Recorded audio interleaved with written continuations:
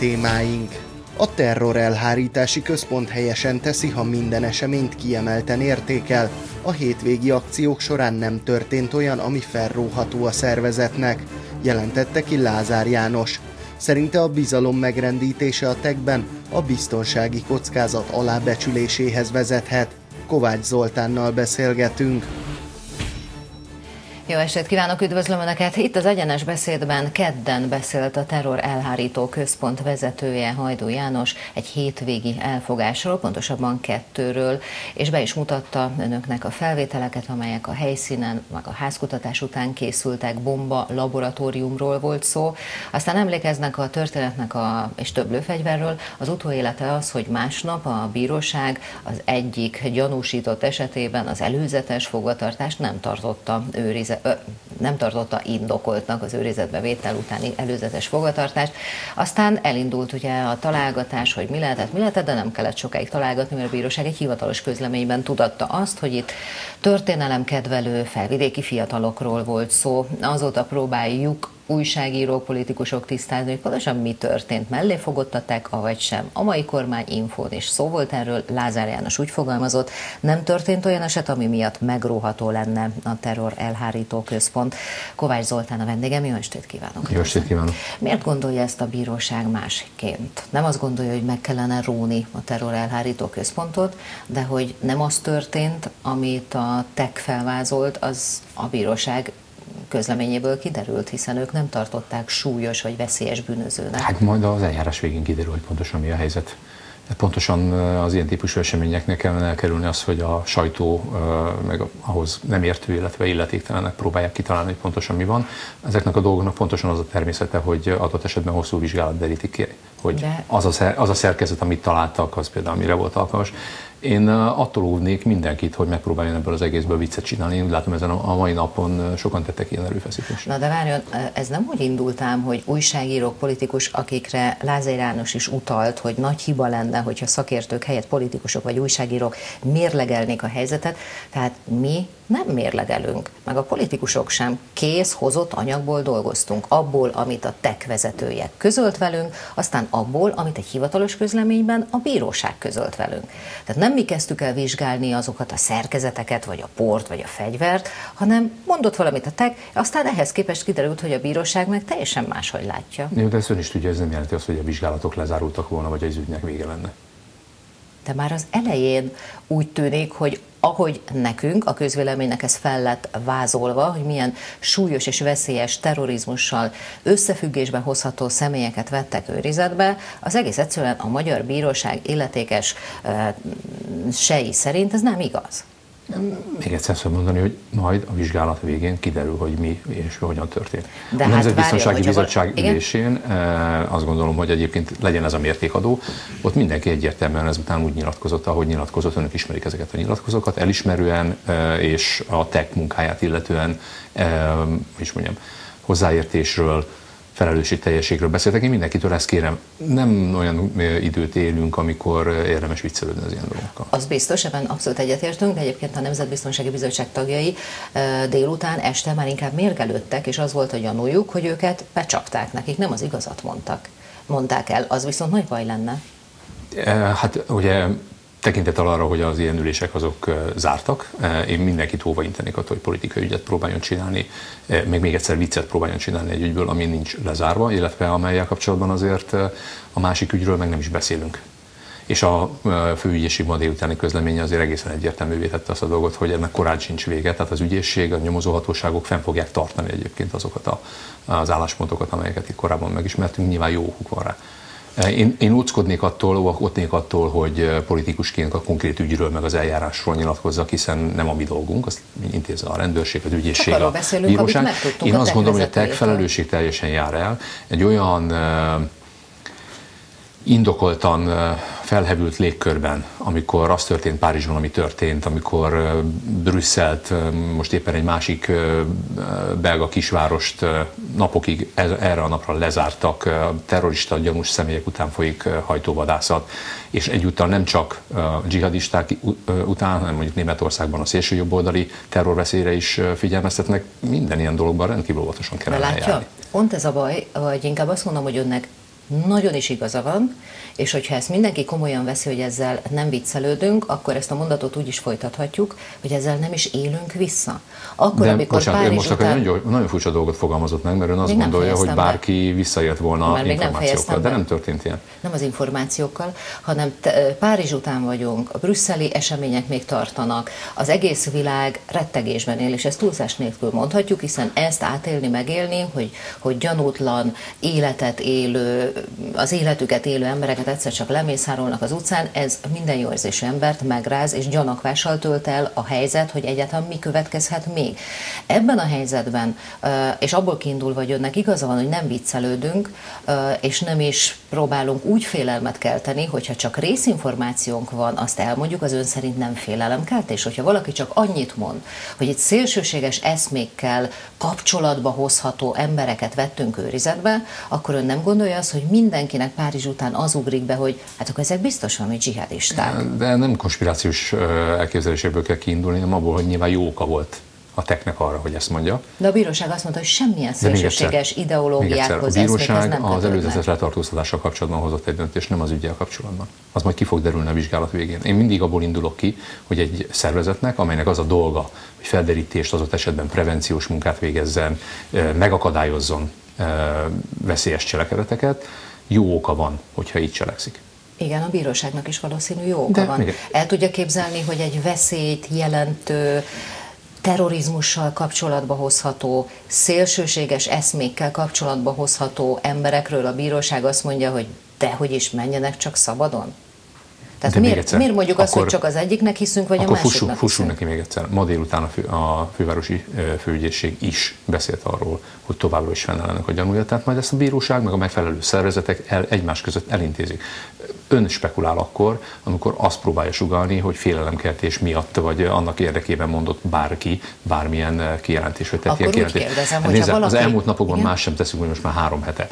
Mindig elmondjuk, hogy Magyarországon ugye a régi rendszer szerint B fokozatú, az új 20-án kijelentett, vagy kihirdetett eh, rendszer szerint hármas szintű, tehát alulról a második eh, szintű terrorfenyegetettségi szintet állapítottunk meg. Ezen belül szigorított intézkedésekre volt szükség. Növeltük a járőrözést, a rendőrség jelenlétét, katonai rendészek vannak eh, nyilvános területeken egyfajta prevencióként, és a TEK pedig teszi a dolgát. De hiszen pont az ebben dolga... a helyzetben, amikor még, és ön hivatkozott most a beszélgetésünkben nagyon sokszor arra, hogy még várjuk meg az eljárás végét. De nem tudom, mit akar ebből kihozni. Tehát az, eljárás, az eljárás vége az, az majd, amikor a végét, felmenték, vagy nem menték fel őket, nem mentettek fel senkit egyelőre. A TEK nem várta meg az eljárás, vagy a nyomozás végét, hiszen ők mondták el azokat az információkat. azt, amit észlelt, és amiben eljárt. Ez a dolga hogy Abban információt adjon erről a dologról. Még egyszer, tehát ne, az egész nem ér ennyit, mert pontosan De. ebből a vitából, amit mondjuk ön is most ilyen kvázi értetlenül próbál gerjeszteni,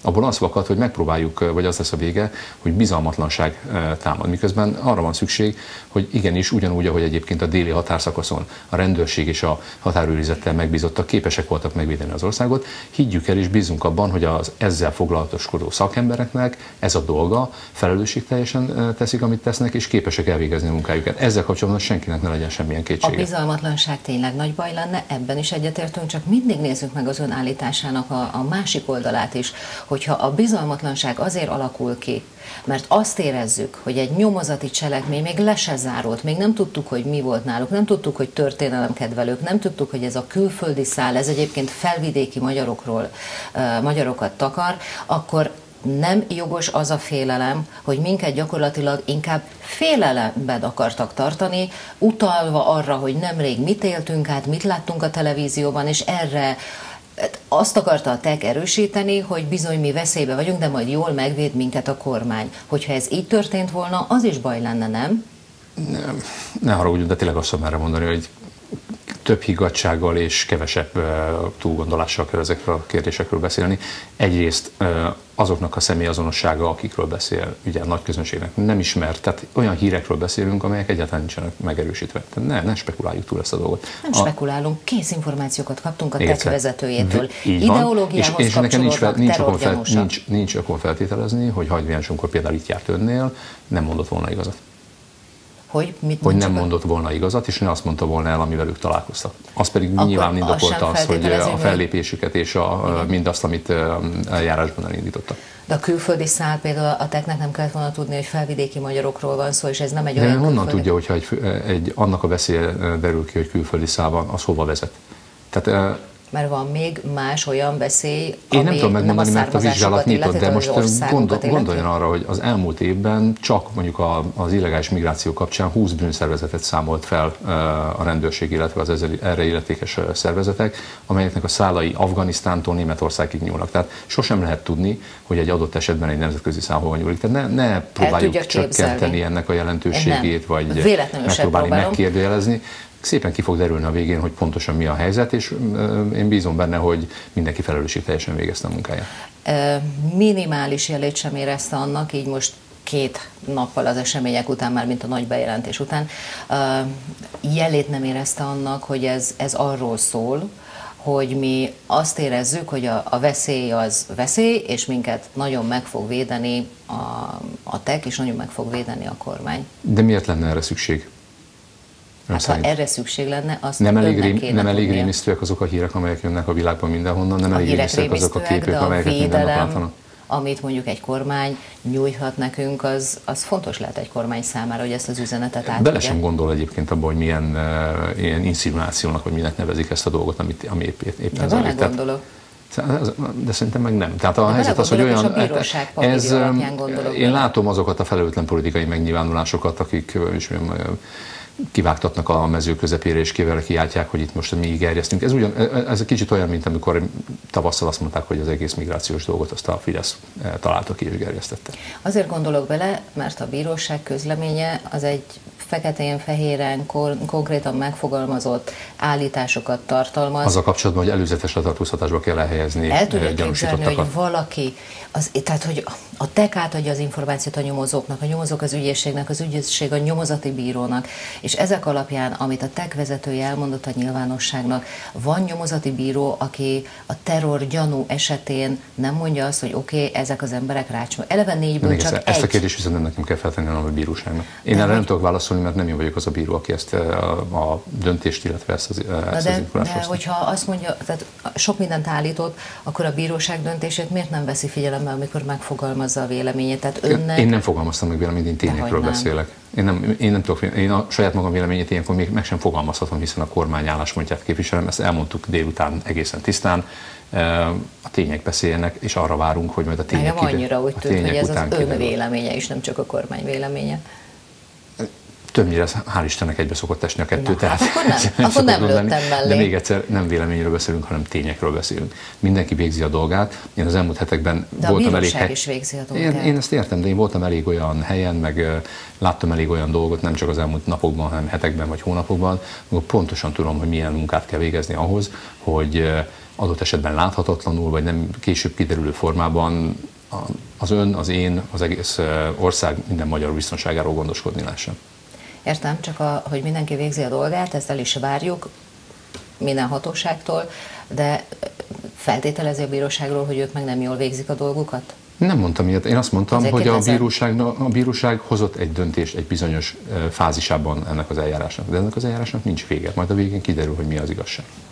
Elképzelhető, hogy a, a, bíró nem kapott meg minden információt. Olga, de ne hozzam már ebbe a helyzetbe. De most ötötször, ötötször futunk neki annak a dolognak. Egy folyamatban, egy folyamatban lévő ügyet sem a kormány, sem én, senki nem fog nem, kommentálni nem, nem, nem, nem. Tehát, nem a foly- ez a folyamat, ez majd lezárult. Nem zárult le a folyamat, a bíróság, egy vizsgálat vagy zajlik, vagy nem előzetes, az de az, hogy szabadlábon, az, hogy valaki szabadlábon védekezve eh, áll egy vizsgálat elé, az nem azt jelenti, hogy a vizsgálatnak vége van. De én csak, persze, hogy nem, és nem is ezt mondom, én csak a bíróság döntésére mondtam, hogy az a folyamatot lezárult. Nézze, akárhányszor fut neki, nem fogok minősítést mondani a bíróság döntésére. Oké, okay, tehát maga a TEK az a kormányzathoz tartozik, a belügyminisztériumhoz tartozik, tehát annak a, a, a cselekedetei, annak a, a, az összes megnyilvánulása az, az nyilván nem, tehát nem mondhatja azt, hogy nekünk erről nincs véleményünk, vagy folyamatban lévő, és akkor nem mondjuk el. Tehát, hogy ezért próbáltam ki. Nem véleményem van, pontosan tudom, hogy ezek az emberek teljesen nagy szakértelemmel, professzionálisan végzik a munkájukat. Ezt egyébként én is azt gondolom, hogy iszonyatosan profin dolgoznak, ezért is lepődtem meg, hogy a bíróság meg nem tartja indokoltnak azt a nagyon komoly terrorgyanút, amit állított a TEK vezetője. Lépjünk tovább a kormányinfo mai témái között, az pedig a mi házunk táját illeti már és érinti már a sajtó munkatársainak a kitiltásával kapcsolatos. Úgy fogalmazott ez már ön, hogy mindenkinek be kell tartani a szabályokat, ha valakit nem hívnak meg egy sajtó nyilatkozatra, akkor oda nem illik elmenni. Az RTL Klub, amely ugye ki lett tiltva arról a rendezvényről, illetve most már a parlamentből, milyen szabályokat nem tartott be? Miért nem lettek hát meghívva? Arról a rendezvényről, bocsánat, tehát a rossz a közelítés. Nem volt meghívó. Kezdjük ezzel. Ugye itt az, a, a NATO főtitkár látogatásáról beszéltünk, ahol a NATO főtitkár stábjával abban egyezett meg egyébként a miniszterelnök stábja, illetve a, a kormányzati kommunikáció, hogy egy nyilatkozatot fognak tenni, egy erre kijelölt a magyar, magyar hírügynökségnek és a köztelevíziónak máskor is csináltunk ilyet, a jövőben is fogunk ilyet csinálni. Ennek megvan a maga oka, és kizárólag a, a senki nem, semmilyen kizárólag az állami tévét sem, be. Semmilyen meghívó nem ment ki. Az RTL Klub egy olyan szakaszán tartózkodott, egy olyan helyén tartózkodott a háznak, ahol nem szabad forgatni. Ezt Litauszki Balázs pontosan tudta.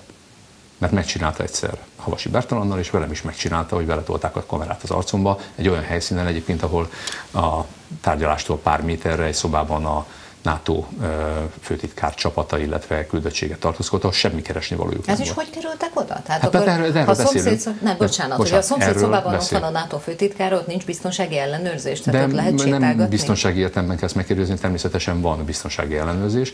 Azt, kell megkérdőjelezni, hogy miért nem tartja be a ház vonatkozó szabályát, ami pontosan kijelöli, hogy mely helyiségekben, melyik szakaszai lehet a folyosóknak, a különböző helyiségeknek hát önnel, hogyha találkozik egy újságíró a folyosón, azért csak tehet fel kérdést forgatást?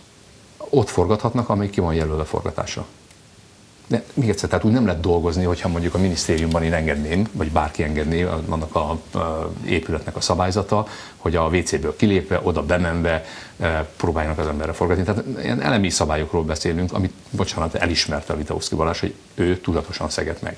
Lehet ebből cirkuszt csinálni, meg lehet próbálni botrányt kelteni belőle. Most ezért, de, ezért tiltották ki az országgyűlésből? Hát, e, e, ez, a, ez a konkrét oka egyébként, de ezt a házelnöktől, illetve a házszabályt alkalmazóktól kell megkérdezni, hiszen a kormány is csak vendég ebben a házban. E, tudomásul kell venni ezt a döntést, és szó sincs arról, hogy a sajtószabadságot bárki korlátozna. Ön pontosan tudja, hogy Lázár János is, magam is, azok, akik a kommunikációval foglalkoznak, hozzáférhetők, a miniszterelnököt meg lehet kérdezni. Tehát álbalhé. Hát sűrűn azért. Ál, álbalhé, és pontosan még egyszer maga az érintett is elismerte, hogy ő többször tudatosan és súlyosan megszegte Nekem a most mindegy, hogy magán vagy a kormány véleményét mondja, de ön helyesnek tartja azt, hogy, hogy egy sajtó egy cég, egy sajtó orgánum képviselőit kitiltanak a Magyarország hát, ha nincsen más eszköz arra, hogy betartsák a szabályokat, akkor adott esetben igen. Köszönöm szépen. Én, én, vagyok, a, én vagyok az utolsó, aki keménykedni szokott a sajtó, azt pontosan tudja. Azt gondolom, hogy vannak bizonyos keretek és határok, ezeket a határokat mindenkinek tiszteletben kell tartani, így végezheti mindenki nyugodtan a munkáját. Hát azt kell mondani, hogy elnézést itt ne forgassanak, hanem kint. De ez megtörtént, és hogy is mondjam, ez nem volt elég. Köszönöm, hogy itt volt. Én is köszönöm.